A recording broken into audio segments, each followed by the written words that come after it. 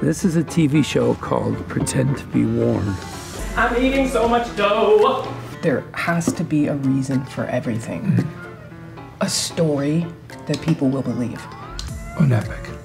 Right. Like like Bridgerton. Even more wide-eyed. More? Even more eyes wide. Yeah, great. Your hand's getting further and further to your right. You're blocking my face.